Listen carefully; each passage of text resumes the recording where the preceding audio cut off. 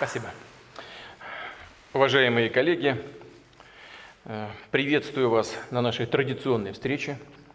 И прежде всего хотел бы поблагодарить руководство, всех сотрудников и ветеранов дипломатической службы за работу по защите национальных интересов России, за вклад в развитие международного сотрудничества. Центральный аппарат министерства, наши посольства и все загранучреждения действуют слаженно и профессионально – успешно решают поставленные перед вами задачи. В условиях динамичной, насыщенной событиями ситуации в мире Россия последовательно проводит ответственный и самостоятельный внешнеполитический курс. Подчеркну, активное участие России в мировых делах продиктовано нашим главным национальным интересом. Это обеспечение максимально благоприятных, безопасных условий для прорывного развития страны. Для решения масштабных социальных, экономических задач, повышения качества жизни наших людей. Наши граждане хотят видеть Россию сильным, независимым, миролюбивым государством. И мы открыты к партнерским, взаимовыгодным, конструктивным отношениям со всеми странами и региональными объединениями. Россия, как постоянный член Совета Безопасности ООН, и впредь будет отстаивать зафиксированные в уставе этой организации основополагающие принципы – суверенитет и равенство государств, невмешательство в их внутренние дела, справедливое разрешение споров. Убеждены, что, следуя международному праву, работая на коллективных началах, мы можем решать самые сложные мировые проблемы. Наша линия на обеспечение глобальной безопасности и стабильности, противодействие новым вызовам, угрозам, безусловно, востребована в мире. Взгляды России на то, как и на каких основах должны базироваться современный миропорядок, разделяют наши союзники по ОДКБ, партнеры по СНГ, БРИКС, Шанхайской организации сотрудничества. Это, мы с вами понимаем, большая часть населения планеты. Именно исходя из наших принципиальных позиций мы действовали и будем действовать при разрешении острых региональных кризисов. В Сирии при решающей роли России нанесен сокрушительный удар по международному терроризму, по ИГИЛ и другим экстремистским группировкам. Это позволило сохранить сирийскую государственность, создать условия для восстановления экономики и возвращения беженцев. Хочу еще раз поблагодарить наших военнослужащих, которые мужественно, профессионально выполняли и выполняют свой долг. И, конечно, дипломатов, которые также активно и с полной отдачей действуют на сирийском направлении. При энергичных дипломатических усилиях России продвигается работа в рамках Астанинского процесса – Большим достижением стало проведение в начале года в Сочи Конгресса Сирийского национального диалога, заслуживающего самого пристального внимания, изучения и поддержки. Это закладывает основы легитимности обновленной Сирии. Теперь на повестке дня формирование Конституционного комитета для подготовки конституционной реформы и последующего проведения выборов при содействии Организации Объединенных Наций. И, конечно, крайне важно нарастить усилия международного сообщества по оказанию гуманитарного содействия сирийцам. Мы этим плотно занимаемся. Ясно, что это важно и для Сирии, и для региона в целом, да, и для очень многих стран мира, поскольку это снижает, снизило бы, если бы мы активно работали на этом направлении, миграционную нагрузку на европейские страны. Решения, основ, основанные на коллективных усилиях и идеологии, Россия всегда предлагала и для Корейского полуострова. Разработала вместе с Китайской Народной Республикой, Республикой план поэтапной нормализации ситуации. Хорошо, что заложенные в нем идеи нашли применение, что стороны сели за стол переговоров, проявили взаимное уважение – отказались от действий, способных привести к непоправимым последствиям. Рассчитываем, что позитивные тенденции, наметившиеся в том числе благодаря вкладу президента Трампа, получат дальнейшее развитие. Но есть и примеры, когда в одночасье перечеркиваются достигнутые общими усилиями договоренности.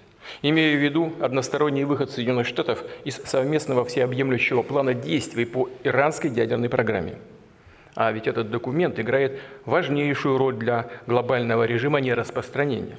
Сейчас задача сохранить эту ключевую договоренность и предотвратить неконтролируемый рост напряженности на Ближнем Востоке.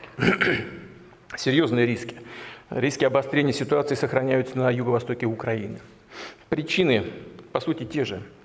Несоблюдение сегодняшними украинскими властями взятых на себя обязательств – отказ от мирного разрешения конфликта.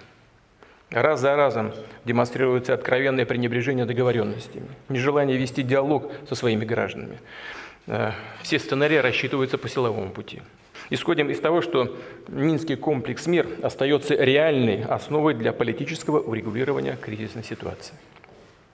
Уважаемые коллеги, то, что мы делаем на внешнеполитической арене, это делаем мы не ради какого-то умозрительного величия и не для того, чтобы создать проблемы другим.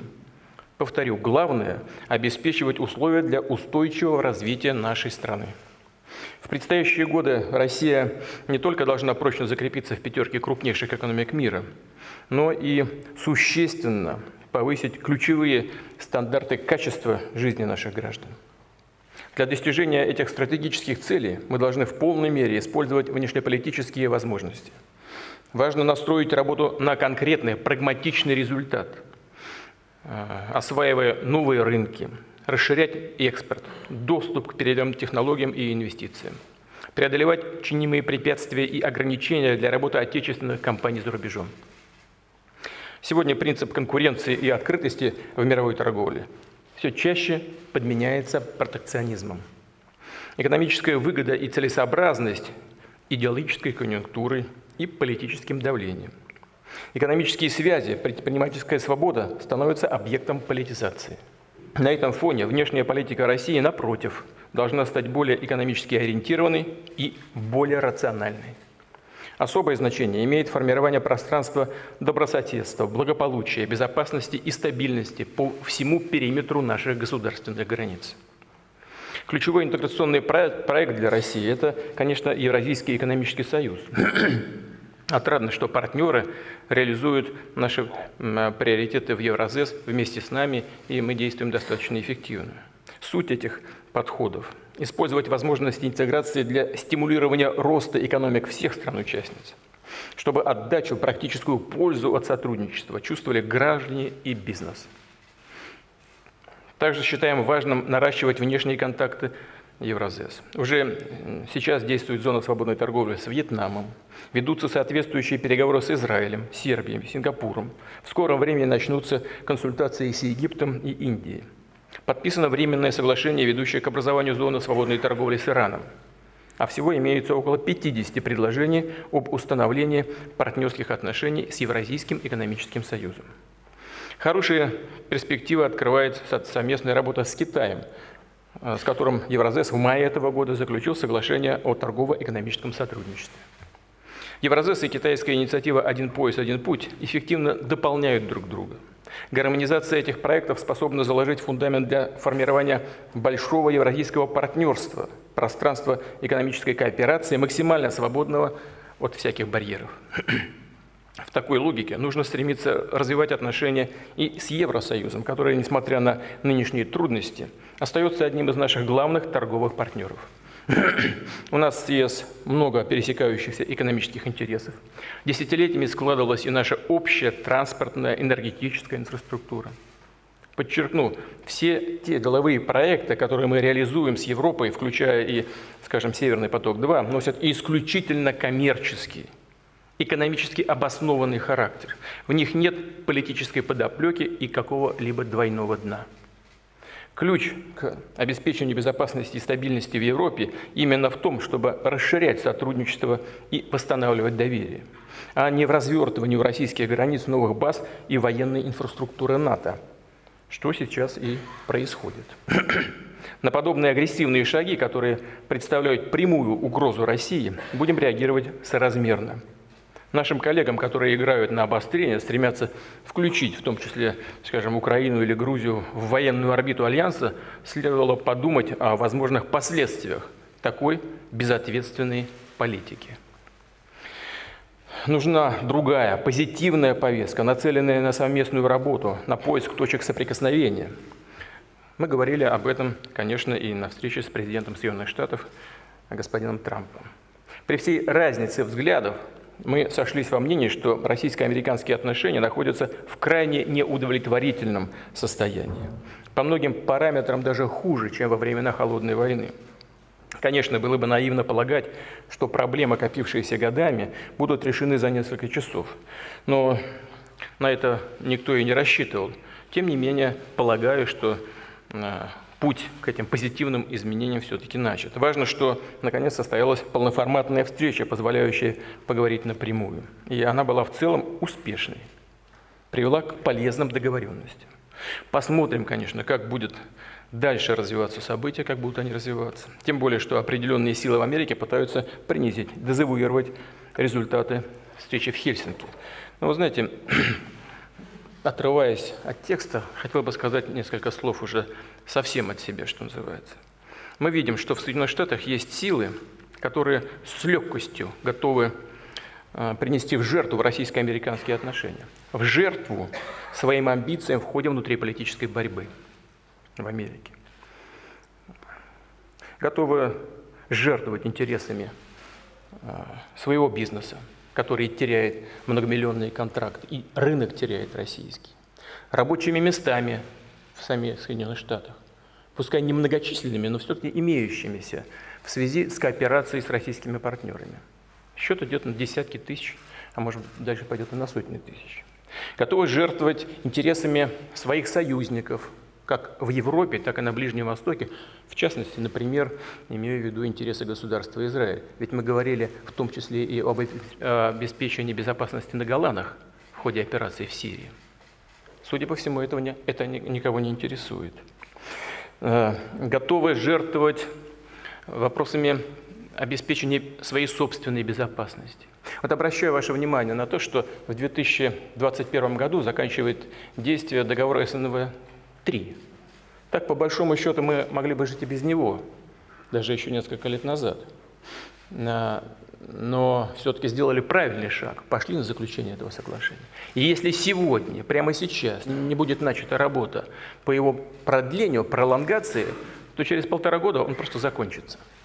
Его не будет. А, я вот когда говорил об этих силах. Да? Вы знаете, это совершенно не вписывается э, в э, нашу политическую, нашу с вами политическую философию. Потому что нас-то всегда и везде учили, что люди, работающие для государства, в интересах общества, прежде всего должны, должны думать о фундаментальных этих интересах. И их всегда ставить выше. Но нет.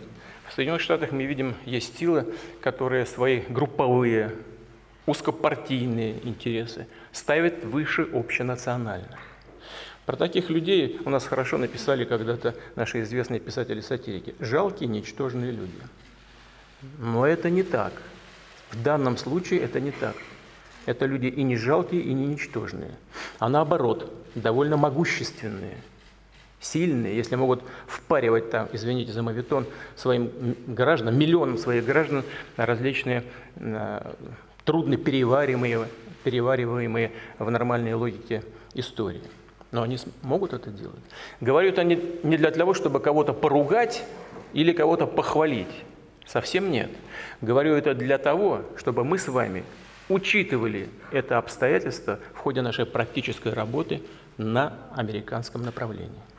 Это факты, с которыми мы сталкиваемся сегодня. Тем не менее, Россия открыта для развития контактов с Соединенными Штатами на равноправной взаимовыгодной основе. Это нужно не только э, двум нашим народам, но и всему миру. Как крупнейшие ядерные державы мы несем особую ответственность за обеспечение стратегической стабильности и безопасности. Уважаемые коллеги, теперь два слова совсем о другой теме, только что завершился чемпионат мира по футболу. У нас побывали не только главы многих государств и правительств, но прежде всего сотни тысяч болельщиков из разных стран мира, которые сами увидели настоящую Россию. Открытую, дружелюбную, современную. И это очевидный успех, прорыв так называемой народной дипломатии. Это и результат вашей работы в том числе, вашего участия в подготовке столь масштабного мероприятия. Хочу вас за это поблагодарить. Уважаемые коллеги, нагрузка на центральный аппарат МИДа, на все наши посольства, конечно, спадать не будет. Предстоит большая работа, колоссальная ответственность лежит и на каждом из вас.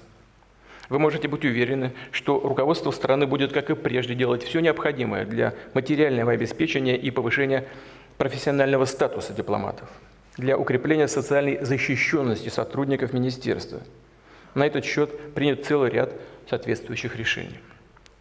Но вместе с тем, некоторые чувствительные для вас вопросы по оплате труда, по социальным гарантиям членам семьи, пенсионному обеспечению, по улучшению жилищных условий пока до конца еще не отрегулированы. И, конечно, правительство будет заниматься этим. Я прошу правительство держать эти вопросы на контроле и при проработке не допускать формального бюрократического подхода. Подчеркну, речь идет об обеспечении адекватных условий для профессиональной деятельности дипломатов. А это крайне важно с точки зрения повышения эффективности всей нашей внешнеполитической работы.